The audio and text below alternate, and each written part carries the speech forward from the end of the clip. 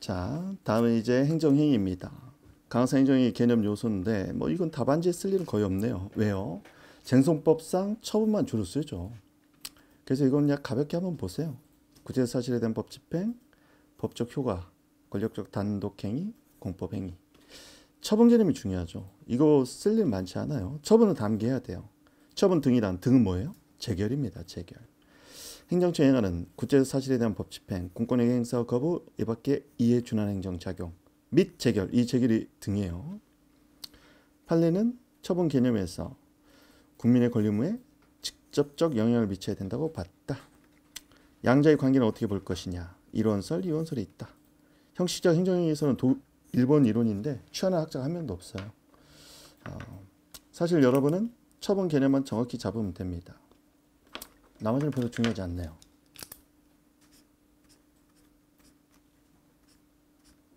처분 개념만 암기하면 되겠다.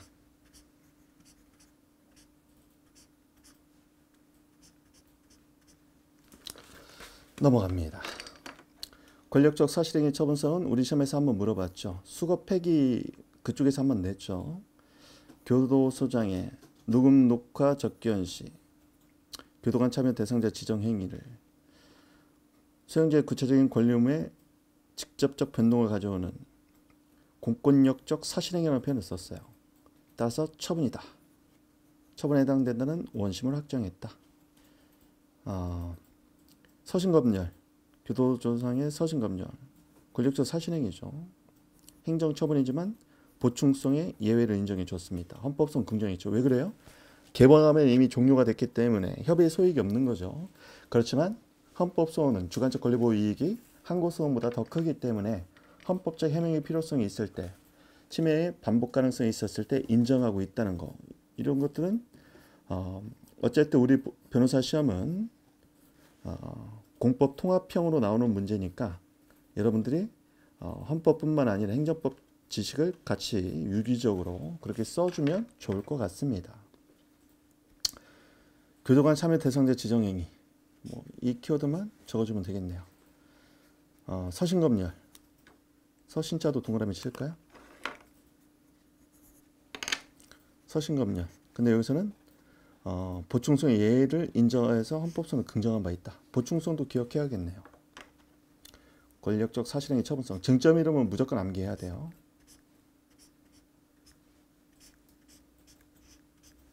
보충성 예가 인정된 이유는 뭐다? 보충성 예가 인정된 건 침해가 이미 종료해서 어, 협의 소액이 없었기 때문이다. 권리구제의 기대 가능성이 없는 파트죠. 항고성의 대상은 되나? 일반 처분 개념만 알아두시면 됩니다. 아, 구제 사실에 대한 불특정 다수인 이게 일반적인 거죠. 일반 불특정 다수인은 일반인을 대상으로 구체적 규율을 하는 겁니다. 항고성 제기 가능하죠. 횡단보도 사건, 물적 일반 처분, 처분성을 긍정했으나 어, 지하상가 상인들의 영업이익 감소는 반사적 이익에 불과한 걸로 봤습니다. 반사적 이익이죠. 원고적 격을 부인한 바 있다. 횡단보도 사건이 워낙 좀 유명해서 좀 알아둘 필요가 있습니다. 불특정 다수인을 상대로 한다. 사례하고는 별로 상관없어요. 일반 처분 개념만 정확히 알아두시면 충분합니다. 제3의 범위 이런 거 필요 없습니다. 어, 제가 이런 걸 안 뺀 이유는 법전 모의고사에는 지저분한 문제도 좀 나오니까 어쩔 수 없이 실어는 놨습니다. 재학생들한테도 필요 하니까. 종료 요건 재량설, 휴가 재량설. 일반적 법 해석 방법. 일반적 법 해석 방법론 뭐예요? 사빈이의 법 해석 방법론 얘기하는 거죠. 입법자가 입법 취지가 뭐냐? 체제 형식 문헌. 물리적 해석. 그렇죠. 불분명하면 유기적 해석이죠. 여기는 행정부의 주된 목적과 특성에 맞는 합리적 해석, 이게 유기적 해석이죠. 그걸로 구별이 불가능하면 당의 행위의 성질, 보충적 해석을 한다 이런 말입니다. 기본권 관련성. 자, 판례만 적어주면 되죠. 똑같은 내용이에요. 법규의 체제 형식 문헌, 행정부의 주된 목적과 특성, 당의 행위의 성질. 여기는 밑줄이 좀 많이 필요하겠네요. 행정 분야의 주된 목적 특성 모두 고려. 법규 체제 형식 문화. 이건 다 암기해야죠. 나중에 키워둔 법규, 분야, 성질. 나머지는 가볍게 읽습니다.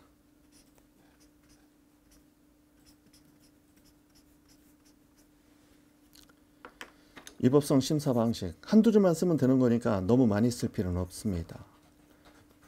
법원이 독자적 결론 도출, 판단 대체 방식 또는 완전 심사 방식이라고 부르죠.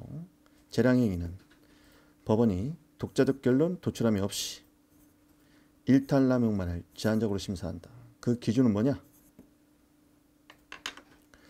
자, 기소권 판단 대체 방식, 재량행위는 제한적 심사 방식 이것만 체크하면 되겠죠.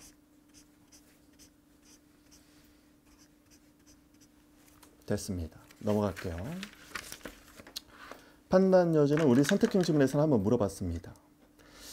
사례로 물어보기는 조금 힘든 주제긴 하지만 사법심사 가능성을 물어보는 시험 문제에서는 판단 여지 아니면 특별 권력 관계일 겁니다. 통칭일은 뭐 나온 적이 없으니까.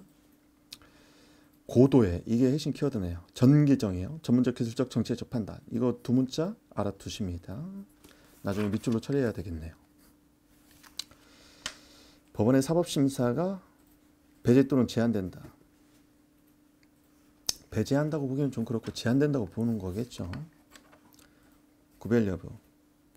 자, 판례는 고대 전문적 기술적 정치적 판단 정기정 판단 요지 개념은 인정했어요. 근데 그냥 일탈남용으로 판단하죠.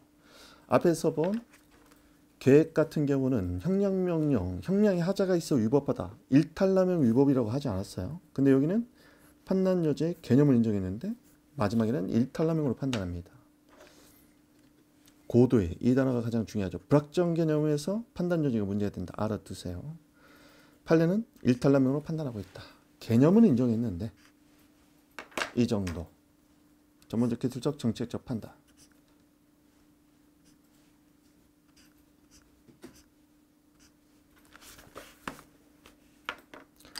범위 한계.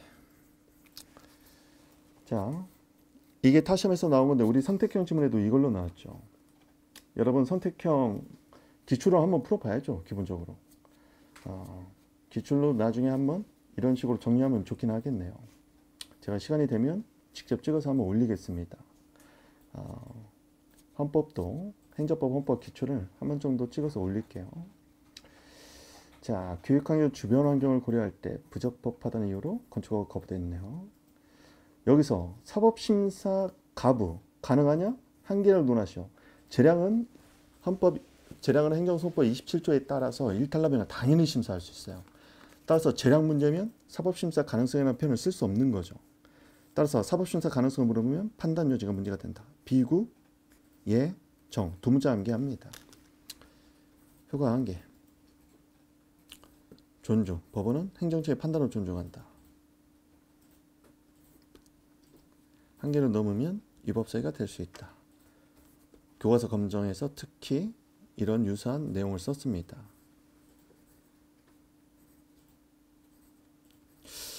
그런데 건축법 11조 사항을 이거 판단 여지로 볼 것이냐 논란이 있어요. 좀 논란이 있다.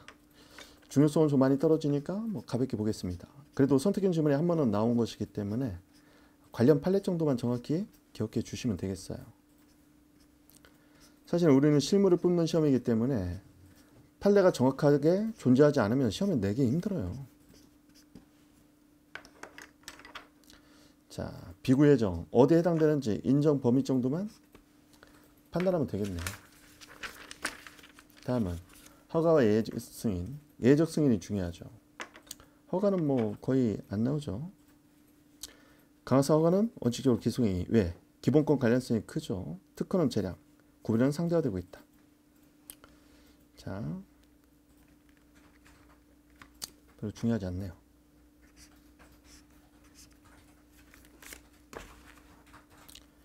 다음 예외적 승인 여기가 중요하네요. 갑은 개발지원구역 내에서 폐기물 설치를 위해서 관할시장에게 개발행위 허가 신청을 했어요. 법적 성질을 검토해라. 자, 예외적 승인은 사회적 유해, 바람직하지 않은 행위를 어, 억제적으로 금지한다. 억제적이라는 표현을 쓰기도 하는데 더 정확한 표현은 원칙적 금지입니다. 원칙적이라는 단어를 넣어주세요. 억제적 금지라는 단어를 싫어하는 분도 있으니까 예외적으로 적법하게 해주는 행위다. 대부분 수익적 행정행위고 독자적 판단이 필요하죠. 따라서 대부분 재량행위입니다. 판례도 개발지원구역 내에서 건축허가를 재량행위로 본 바 있다. 판례가 중요하네요. 사회적으로 유해 억제적 금지, 원칙적 금지라는 단어로 치환하세요. 원칙적 금지라는 말이 가장 공통적입니다. 그러면 허가는 무슨 금지예요? 예방적 금지죠. 예방적. 예방적 또는 일방적, 일반적 금지입니다. 예적 승인은 원칙적 또는 억제적 금지죠. 그렇게 개념을 구분할 줄 알아야겠다. 예적 승인의 법적 성질, 개발 시행 구역 내 사회적으로 유해하거나 바람직하지 않은 행위를 여기는 원칙으로 썼죠. 원칙적으로 금지하고 일정한 요건을 갖추면 적법하게 해제하니까 예적 승인이고 사회적 유의성과 공익을 이익 경량해야 되니까 재량행위다. 좋습니다. 자, 원칙적 금지다. 조문이 있으면 기록 자료에서 조문을 찾아서 원칙적 금지라면 예적 승인으로 끌고 가십니다. 허가 특허 대부분 특허가 나오죠. 특허는요. 여기는 뭐 할 필요도 없네요. 두 단어만 알면 됩니다. 허가인지 특허인지 설권성 공익 관련성입니다. 아, 자 수익적 행정행위고 형성적 행정행위 중에 대표 주자죠. 대부분 재량입니다. 설권행위로서 형성적 행위이다. 그리고 적극적인 공익 관련성이 큽니다. 개념 표준은 설권성이에요. 그리고 공익 관련성이 크다. 개인 택시 운송사의 법적 성질은 새로운 권리를 창설하는 설권성과 공익 관련성이 크므로 가각상 특허다. 핵심 키워드 나왔네요. 설권성, 공익 관련성. 나머지는 현관펜 작업으로 대체합니다. 다음 인가 최근에 뜨고 있는 부분이네요. 경기학원 이사의결을 거쳐 갑을 임원으로 선출한 사립학교법에 따른 임원 취임 승인 이게 인가죠. 법적 성질을 검토하라. 최근에 5급 공채에서 출제가 됐습니다. 탄핵 법률적 행위를 보충, 효력 완성, 형성적, 기속 재량이 있다. 효력 발생 요건이다. 보충행위라는 게 가장 중요하죠. 또는 효력을 완성시켜준다. 나머지는 현관펜 작업으로 들어갑니다. 계속 떠드니까 이거 거의 강의하는 것 같으네요. 느낌이. 자, 이어폰을 끼고 이동하면서도 들어도 좋겠네요. 그러면서 본인이 책에서 봤던 내용을 연상시키는 겁니다. 눈앞에 그려지는 것처럼. 기본행위 이사의 임원 선출행위 효력 완성 강화성인 거다.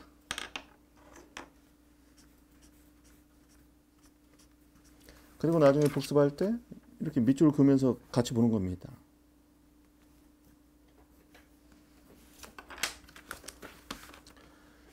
자 다음 조합 설립 결의 공용안건 내용이네요. 이건 사시 문제입니다. 노주택 재개발 어, 추진위원회 구성 조합 설립인가 추진 추진위원회 구성 승인은 이건 강화사인가라고 했죠. 이거 강의 시간 했던 거 한번 떠올려 봅니다. 동의를 받는 과정에 하자가 있음을 이유로 조합 설립 결의를 다투네요. 설립 인가 전, 인가 후 소의 종류는 뭐냐? 소의 종류.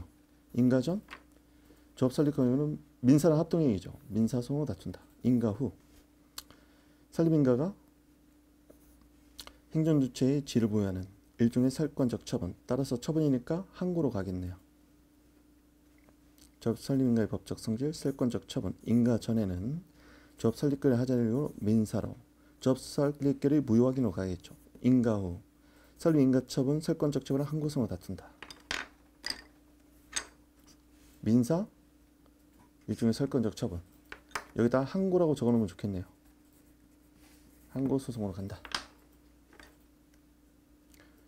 설권적 처분이라는 단어가 중요합니다. 나머지는 현가펜. 현가펜 치기 전에 이거 작업하세요. 밑줄은 뭐 너무 다 그을 필요는 없지만 어, 주변을 같이 읽는다는 의미가 있습니다. 저는 지금 어, 시간이 없는 관계로 해서 이렇게 하지만 여러분은 꼭 밑줄 작업까지 하시기 바랍니다. 무효취소 급여 기준 볼 필요 없어요. 중대명백설로 가면 됩니다. 이 학설 논의를 쓸 만큼 우리 시험은 여유롭지 않아요. 유언결정의 소표. 우리 시험에 이미 나왔네요. 당해 사건 했거나 신청했던 동종 사건 그리고 병행 중인 사건 이때 일반 사건에도 미치느냐 대법원 원칙 소급표 인정 예외 아, 재소기한이 도과돼서 불가정이 발생하면 부정. 헌재는 원칙 부정 예외. 어, 권리구제 요청이 훨씬 더 클 때 소급표 인정. 뭐 이건 헌법에서 배운 거니까 그냥 가볍게 처리하겠습니다.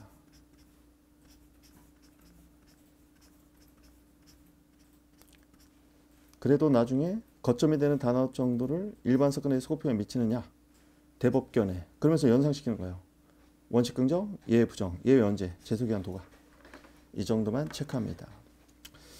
근간 행정처분의 효력이네요. 문화세대응집단금 부가처분, 헌재, 위헌결정, 납부한 돈을 돌려받으려고 해요. 취소를 제기했을 때 인용 가능성. 그럼 소송 요건과 본안 판단의 이유가 있어야 됩니다. 자, 대법원은 어, 조례가 상해범위 위반된다는 사실은 발견 전에는 특별한 사정이 없나 객관적으로 면박하다고 볼 수 없으므로 이런 조례 근거한 처분은 취소사에 불과하다고 본 적이 있다. 별로 중요하지 않습니다. 즉 위헌법률 근거한 처분은 뭐에 불과하다? 취소사에 불과합니다. 왜 그래요? 유연성 여부가 권한 있는 기관에 의해서 유형 결정이 나오기 전까지는 명백성이 없다는 게 핵심입니다. 다음 유형 결정의 소급표입니다. 근거한 처분의 효력. 유형 결정 이후에 제기하는 일반 사건은 불가정력이 있지 않기 때문에 소급표가 미치고 취소 사유에 해당하고 특별한 사정이 없는 한 인용 가능하다. 유형 결정 후 유언 법률에 근거한 집행력 무조건 압류로 나와요. 판례가 압류니까. 서장은 과세 처분했고 그후 위헌 결정이 내려졌습니다. 그리고 서장이 압류 처분했는데 효력이 어떠냐 결론부터 알아야 돼요. 쟁점은 위헌 결정 이후의 집행력인데 판례가 부정해서 당연무효다. 이걸 아시는 게 중요하죠. 부정설. 나머지는 형합행 작업을 해보겠습니다.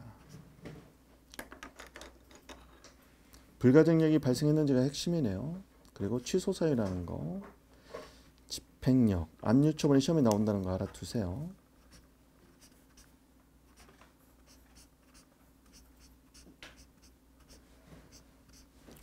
물론 여기에 뭐 조금 더 찾아도 됩니다. 취소에 불과해서 공정했고 재승에 도한 불가정이 발생 유함으로 근간 행정처분은 적법하다는 견해. 연결정유의 집행일은 용판이 기속력에 반함으로 절차 진행할 수 없다는 견해. 뭐 나중에 동그라미 더 치고 싶으면 치세요. 취소하니까 공정력. 불가정이 발생했으면 유효. 따라서 적법. 용결정이 기속력에 반하니까 절차 진행할 수 없다. 더 치고 싶으면 이렇게 치는 겁니다.